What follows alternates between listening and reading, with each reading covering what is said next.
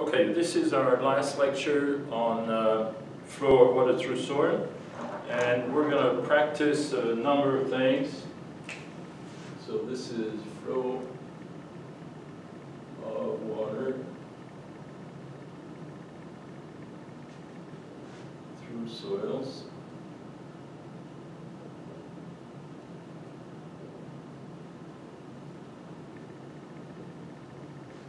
And we're going to uh, do a lot of uh, problems together. Uh, we're going to do problems on uh, drawing a flow net, uh, on calculating heads of water, calculating uh, hydraulic gradients, calculating water pressure, uplift force, seepage force, um, quick condition. We're going to do all this in the next 50 minutes or so. So the first thing is, so I'm on page uh, 396.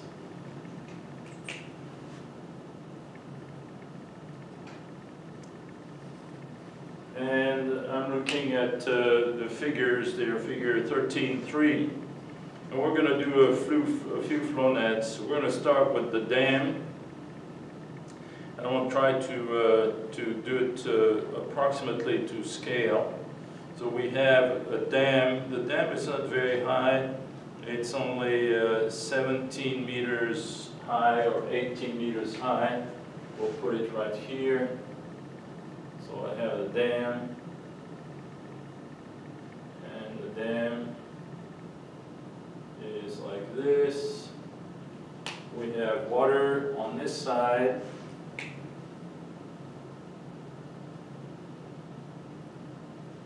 And we have a little bit of water on the other side.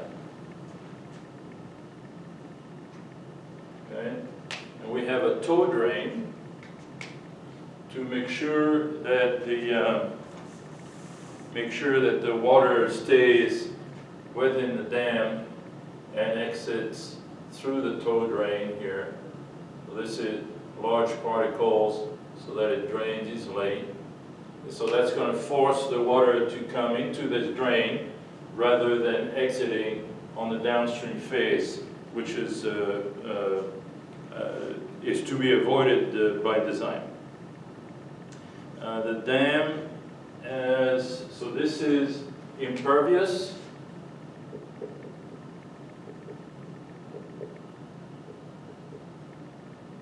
So the water cannot go underneath the dam in this case. So the water is limited to going through the dam. And we're going to draw the flow net. So first of all, this is, remember we say we first draw boundary flow lines. So boundary flow lines, certainly uh, this is one of them. Uh, let's see, I think I used red last time. So there's a boundary flow line that's at the bottom that's going like this through the bottom and then exits in the uh, drain. The top uh, boundary flow line is more difficult to establish and there are some constructions that are available. We're not going to go through this in this class, but the, the, the other thing I want to uh, mention is that if you take any point on this line here, this will be the elevation head. We're going to take the datum right here, zero, and the elevation head would be this much, and then the pressure head will be this much because this is a static body of water, so you have hydrostatic pressure here. So the total head will be this at this point, and this point is the same. The elevation head is larger than here, but the pressure head is less and the total head is the same. So what that means is that the total head on that line is the same everywhere, therefore this is an equipotential. So this is a boundary equipotential. And then this right here is a, an, uh, a boundary equipotential as well. And uh, therefore the top flow line will have to join uh, this point and this point, and it has to start perpendicular to that equipotential, because that's one of the rules, and it's got to arrive in here. So actually, this is not the easiest flow net to draw, but it's part of the, so the equipotential is like this. And then we have that top flow line that comes like this, and then ends up perpendicular to the toe drain. And then we draw an additional two uh, lines, so we'll draw a line, uh, a flow line rather, right here, and then another one right there. Okay?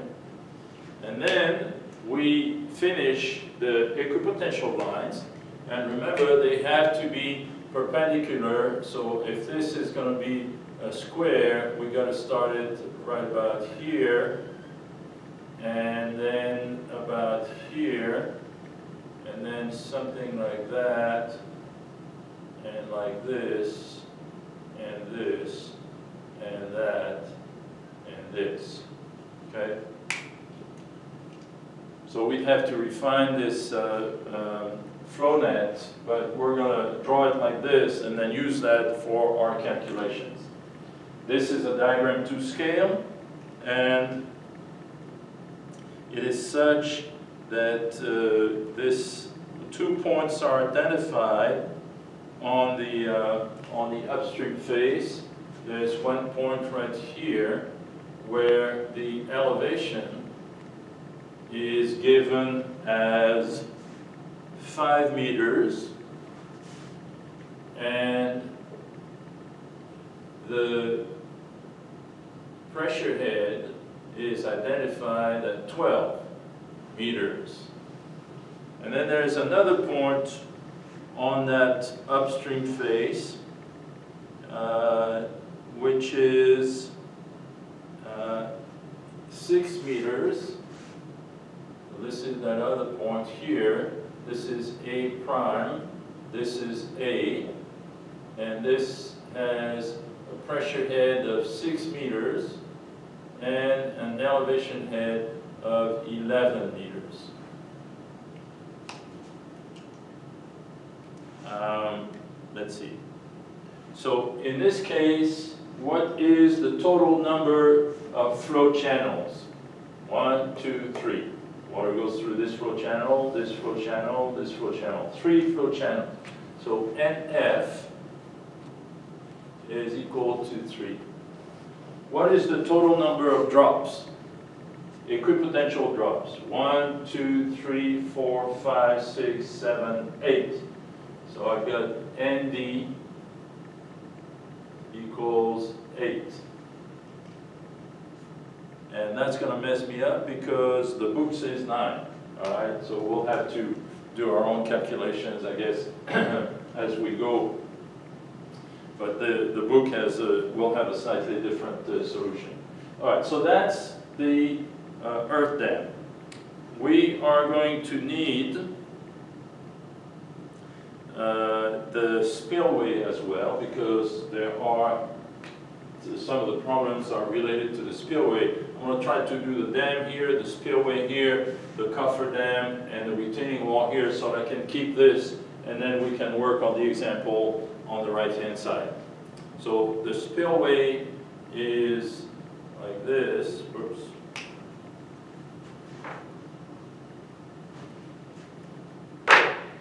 Spillway is vertical here. And like that. And it comes down like this. And then we have, as we saw in the last lecture, a cutoff wall. So we have some water on this side. And we have some water on this side as well.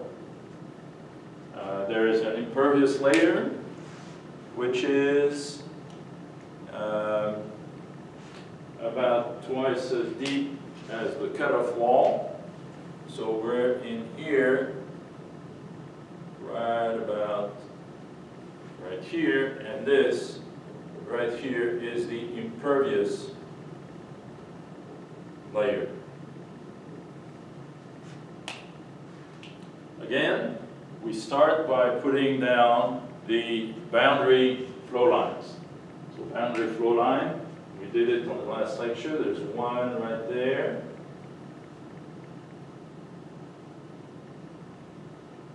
All the way here. That's the top boundary flow line, and then the bottom boundary flow line goes through the bottom at the interface between the soil, uh, the pervious soil and the impervious soil. So these are the two boundary flow lines. The boundary equipotentials is, one of them is here because this is pressure head and this is elevation head. So therefore this is an equipotential. And by the same token, here we have pressure head, elevation head. So this is the other boundary uh, equipotential line. And then the flow has to be taking place between those two boundary flow lines. So we're going to put two more, uh, one right here, and it's going to have to go back up a little bit and come back like this, and then another one here.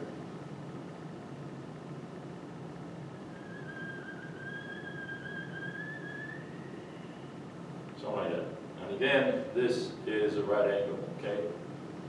Um, then I have to do the, uh, I think it's going to be a little bit too long, but that's all right.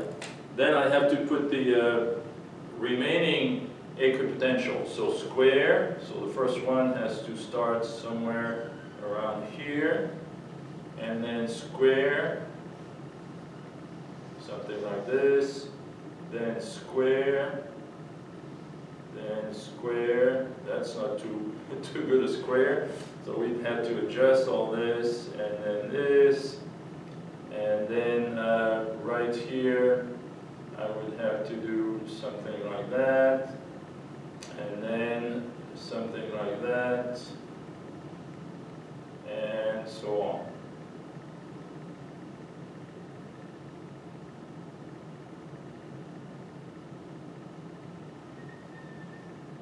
Okay?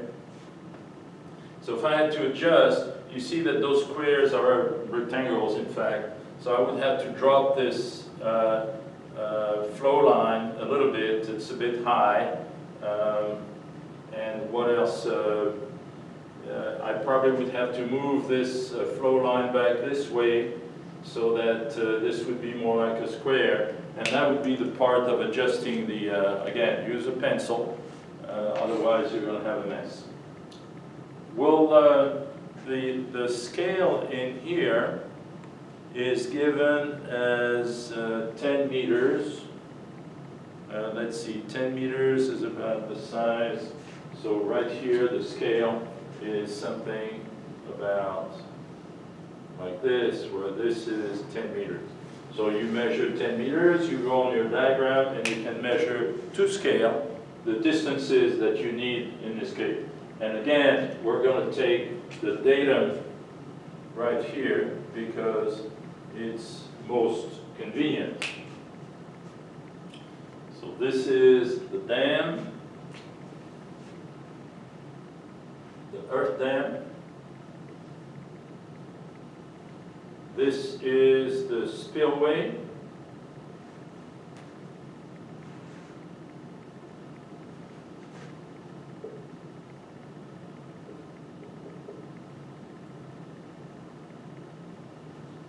And then we're going to do the uh, uh, cofferdam next. So when you're in a, um, oh, we need to calculate NF and ND. So again, NF, uh, three flow channels, one right here, one right there, one right there. So here NF is, uh, let me put it here, NF equals three, and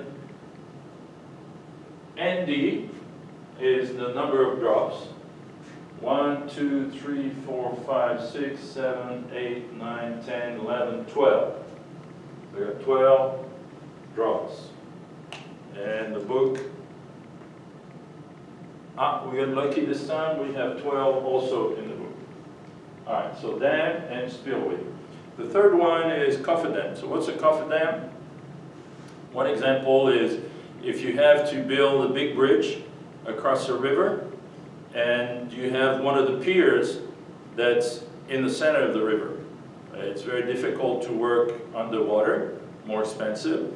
So what we typically do, we do with the sheet piles, you know, we put a wall, a circular wall in the middle of the river, and uh, we pump the water out, uh, you know, so seepage uh, coming into, and, and we have to pump fast enough that, you know, the water stays under the level of the bottom of the river in that cofferdam, and then we can uh, work in the dry. so in this case, we have a cofferdam that looks like this. And then we'll make it that wide. And then we have the soil is right here. And then um, this goes a little bit deeper here. And then we have an impervious layer about two times the embedment, so we have an impervious layer that's right here. Let me move up that so that I can have room for the, the retaining wall below that. So we have a cofferdam that's like this. And then the soil is here. And I have an impervious layer right there. So this is impervious. Uh, this is soil. So soil goes in here. And then we have water in the river right here. Water in the river right there. And then the water is typically very close to the surface of the soil here, and you have a pump right there that pumps the water over the sheet pile wall and throws it back into the river. So how do we do that? Well, we're on the barge, and we drive this wall, we drive that wall all the way around. and then once uh, the wall is, is made, then we pump this water so that we dry it out, and we keep the water level below the river bottom at, at that point. Flow net. You can see that high water, low water, the water is going to flow into the cofferdam. And you have people working in there. Okay? You have uh, dozers, cranes, and, a number of things. So you got to be sure that uh, they, uh, and, and also you can sense that one of the problems is that the water is coming down this way and up that way. So now we're talking about upward flow against gravity. So we're going to have some issues, quick condition in here. And we need to be sure that we don't have a quick condition, because if we have a quick condition, then this cofferdam cannot have any resistance against the push, and then we lose the, uh, the cofferdam and we can hurt a lot of people. So it's critically important. All right, so flow, um, and you can see that there is a symmetry in here. And the symmetry is with respect to the center. So we're going to put the axis of symmetry right there. And we're going to deal with the flow net on one side, but the other side is going to be the same. So first of all, boundary flow lines. Well, one boundary is that the water cannot go through the cofferdam, and so the one flow line, one boundary flow line is right here where that water molecule goes straight down, turns corner hard because everybody's pushing that way, and then comes back up because everybody wants to come up for air on the other side. The other boundary flow line is the one that's at the bottom. So the water is coming this way at the bottom. And then boom, it hits the flow coming the other way, and it's got only one way, and that's to go up.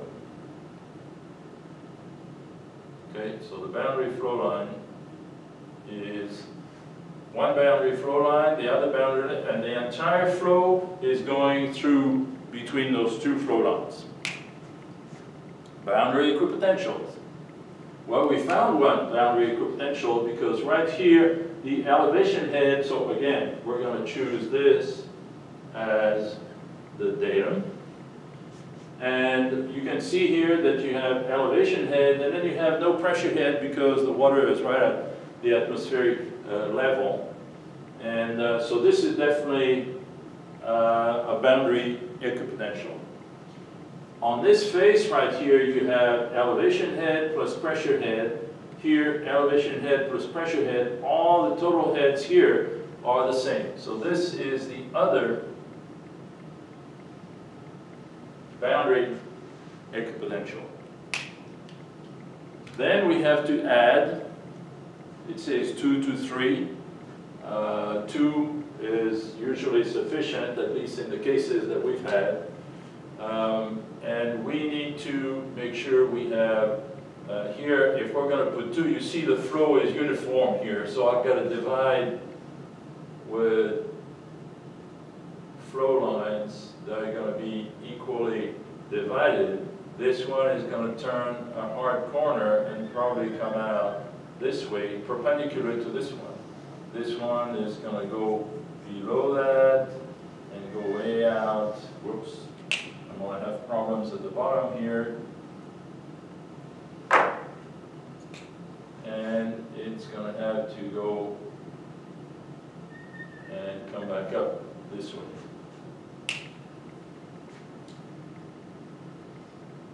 you know, drawing flow nets is somewhere between engineering and art. So, okay, so these are our two intermediate flow lines, and now we're ready to put in the, the, the final um, uh, equipotentials. So we need squares here, so square, square, square, square, and now I've got to go like this, I got to go like that, I got to go like this, and I got to go like that. Okay?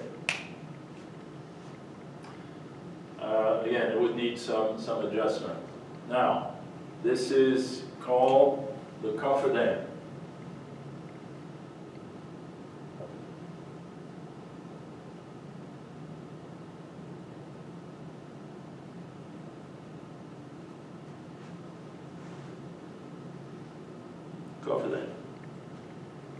And in this case, NF is equal to how many flow channels? One, two, three. The water goes here, goes here, and goes there. So NF equal three. Number of drops, total number of drops. Uh, one, two, three, four, five, six, seven, eight, nine. Nine drops. And the book says eight, so we're not uh, quite lucky. Anyway, so this is the cofferdam. One last one. Let's do the retaining wall. And the retaining wall is like this.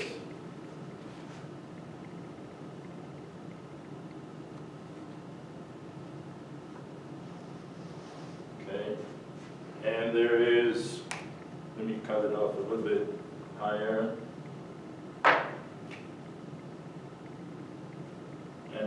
There's soil on this side.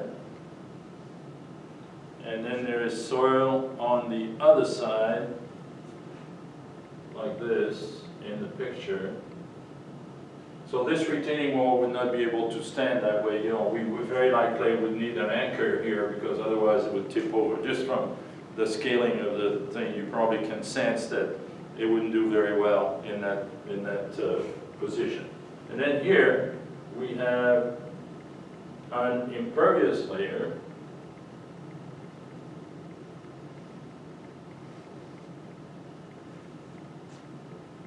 where we're going to choose the data. So we're going to say, again, zero.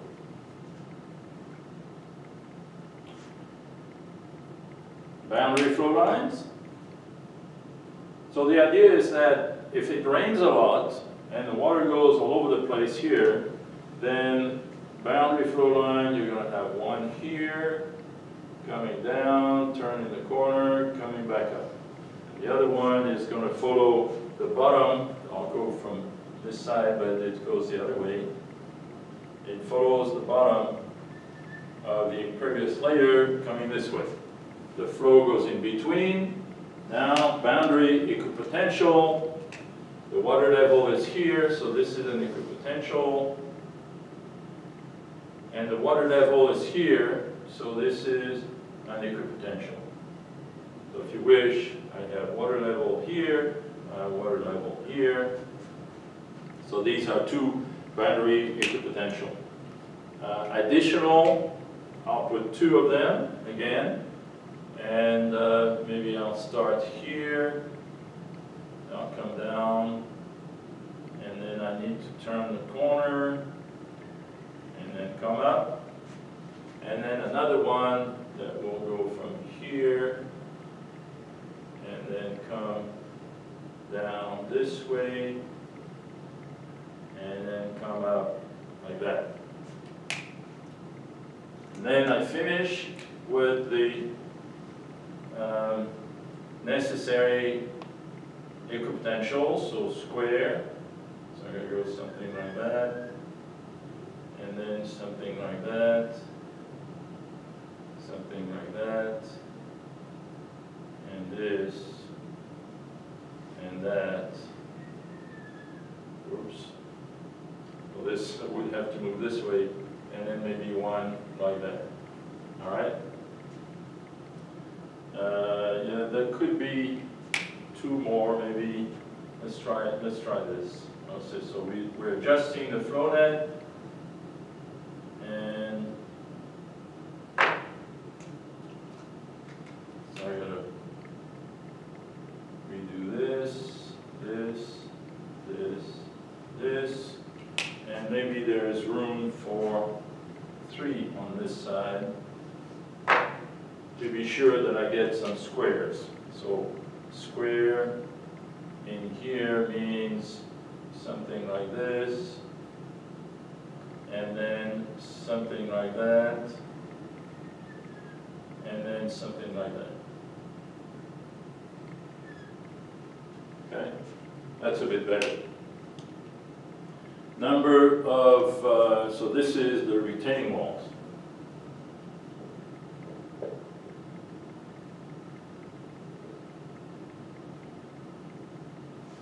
Number of flow channels, one, two, three. Number of drops, one, two, three, four, five, six, seven, eight. And the book has 11, all right. Oh, I took four uh, flow channels. Very good, so that's flow nets. Let's start doing some calculations on those uh, flow nets. First thing is uh, the total head, the elevation head at point M on the dam. So point M is in the, is seven meters, so point M is somewhere here. Uh, five, let's say M is here, okay? So for the dam, I need to calculate the question is HT at M. So to do that, we're going to start by doing uh, the elevation head. So elevation head, you take your, you have a scale in here that says, let's see, I put a scale of 10 meters for this one. Um, I don't know, this may say 10 meters like this. So you look at what 10 meter is, you measure this, and you find that this distance here is 7 meters. So HE at M, HEM equal 7 meters.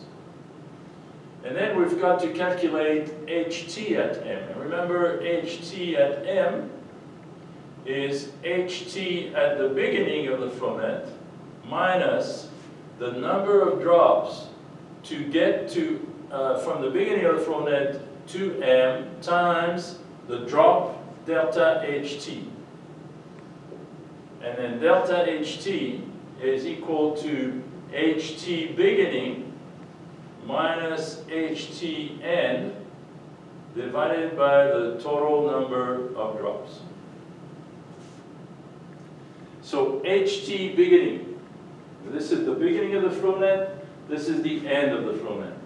HT beginning is HE plus HP, 17. So this is equal to 17 minus HT at the end. When I'm here, I've got some pressure head. When I'm here, I just have elevation head. This was given as 2 meters, I believe.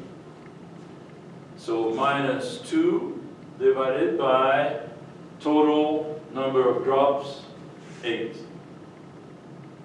So unfortunately, that's 15 over 8, and we'd have to calculate this. I didn't bring my calculator. Uh, but that would be HT. What is, so HT at M, and this is part of your assignment, by the way, so you'll have to do those things.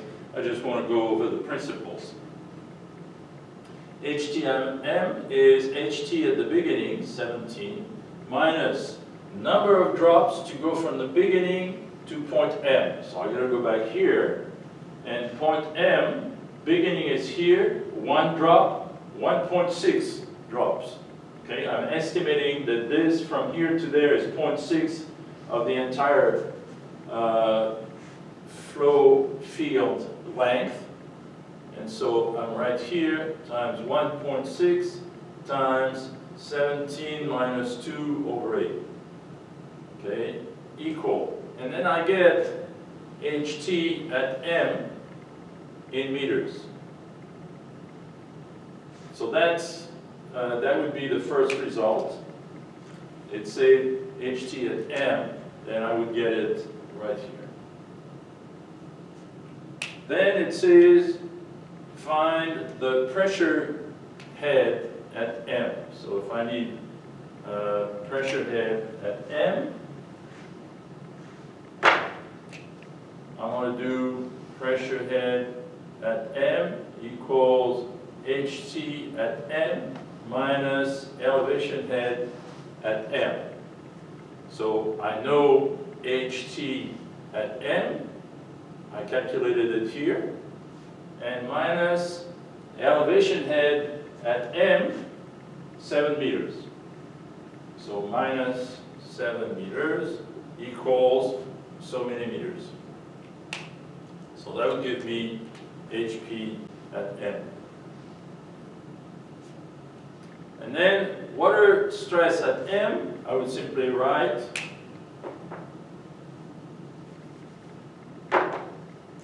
U W at M equal HP times gamma W equals HP, whatever I had here, times 10 kilonewton per cubic meter, and that would give me U in kilopascal. Okay, and I would get U.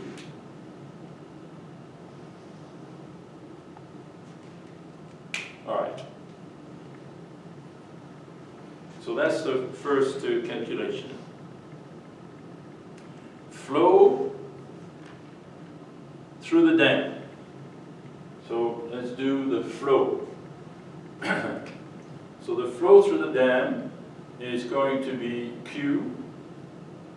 That's what we calculated, uh, you know, we uh, developed that equation last time, is K. Uh, I think it was K delta H T.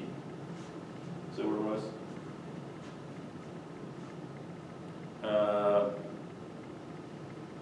times the number of flow channels. So it was, uh, all right, let me rewrite this. It was K NF over ND times HT beginning minus HT end. So K, uh, let's see, it wasn't, uh, it's got to be given somewhere in the, in the problem. K was 4, uh, no, K was 10 minus 8 meters per second. So here we had K for this soil. K equals 10 to the minus 8 meters per second. So that was given. So back here, I put 10 to the minus 8 meters per second. NF was 3, right here. ND was 8, so 3 over 8 times HT beginning 17 minus HT and 2. So that gives me the, uh, the flow. This is uh, meters per second uh, permeability, and this is meters. So this is in meters square per second. And in fact, it's in meter cube per second per meter of length of the dam in this direction, perpendicular to the bore. So this gives you the, uh, the, the value of Q, whatever this. But you can see the first thing that you might notice is that the value of Q is extremely small, 10 to the minus 8. So what is this, 15 uh, 2, 6, something like 6, 10 to the minus 8 cubic meter per second. But you'd have to multiply by the width. Of, so if the, the um, dam was uh, 1,000 meters long, then that would be, uh, you'd have to multiply this result by 10,000, uh, by 1,000. So we said 6, 10 minus 6, 6, 10 minus 5 cubic meters 10 minus 5 cubic, meters. you're, you're looking at, uh, you know, a bucket per second, okay?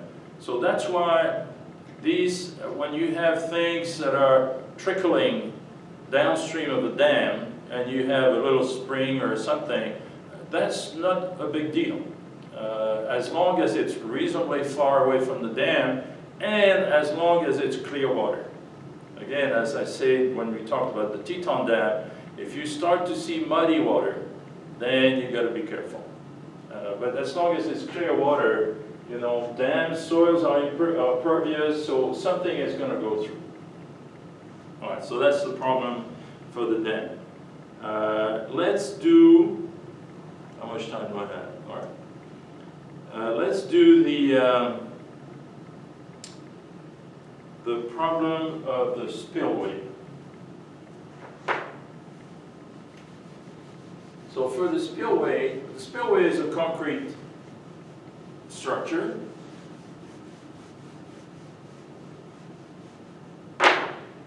So this, this whole thing here, that's the spillway. This whole thing is concrete. So nothing is going to go through the concrete. But one of the issue we have, whereas the dam is an earth dam, so the, the water goes through, the, one of the issues we have is that there is water pressure under the dam. And if the water pressure is higher than the weight of the concrete, then the dam floats and goes downstream. Not good.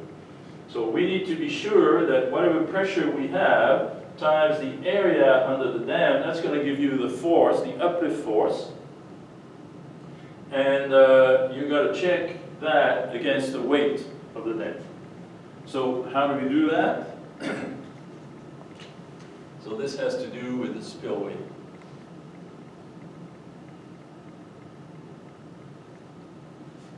To do that, we calculate the water pressure at uh, a number of points.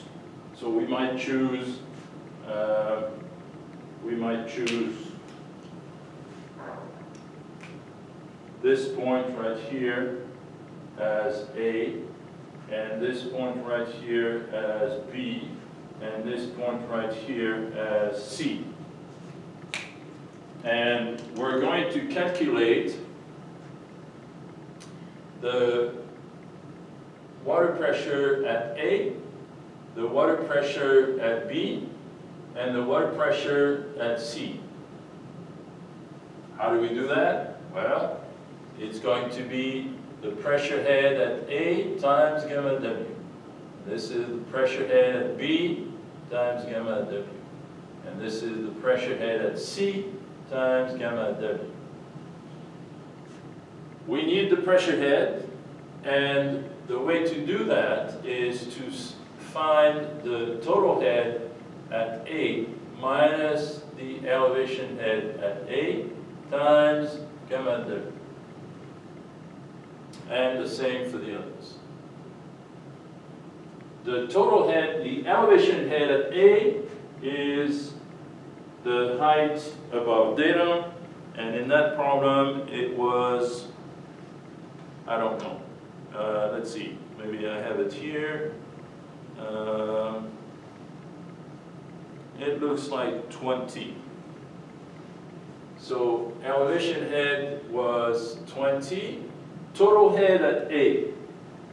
Again, we've got to apply the rule that we had there. Total head at A is total head at the beginning of the flow net minus 1, 2, 3, 4, 5, 6.2 times delta HT.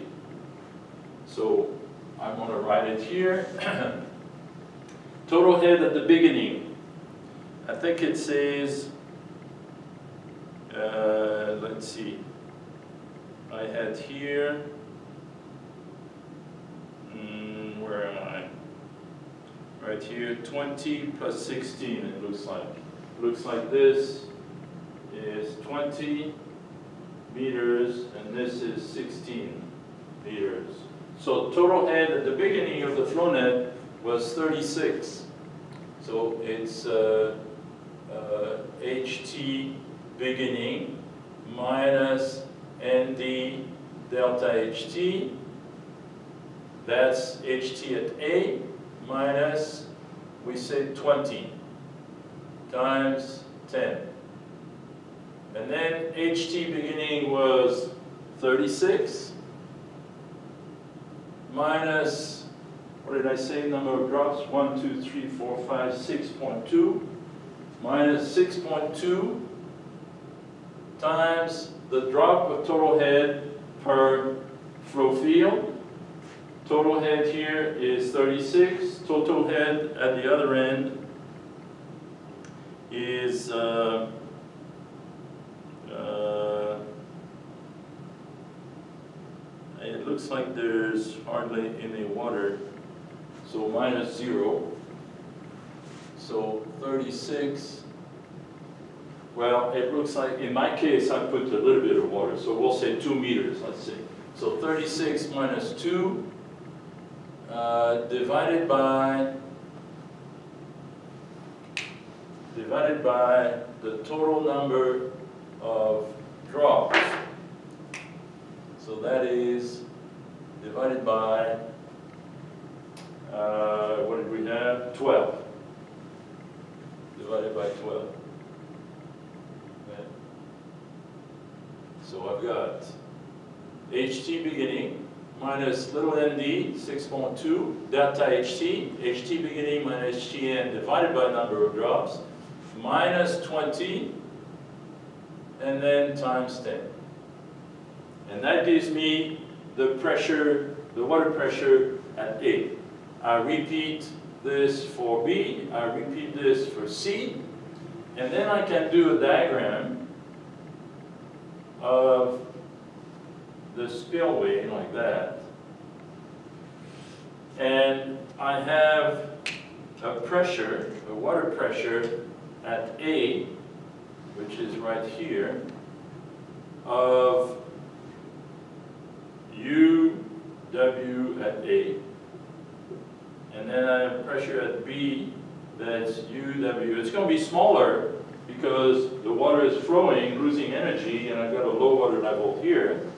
And then the water pressure at C, which is going to be even smaller. So what I do then is I do a diagram of pressure. I calculate the area under this diagram and that area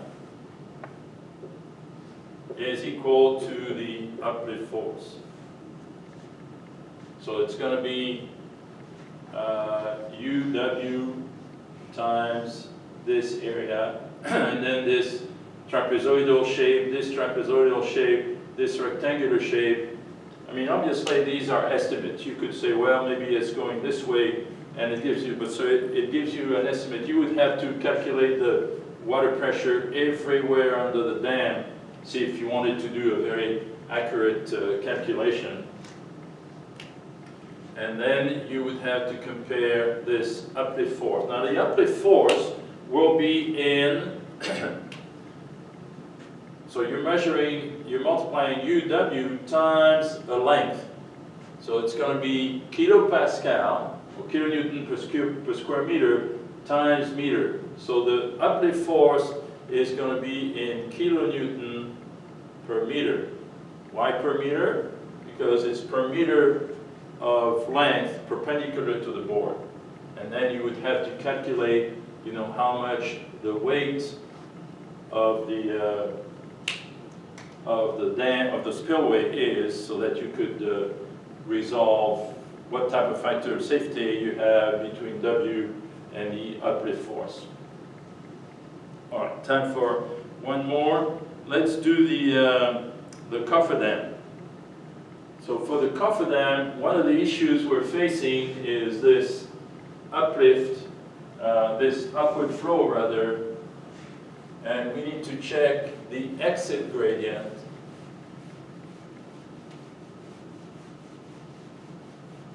So let's do that. So this is cofferdam.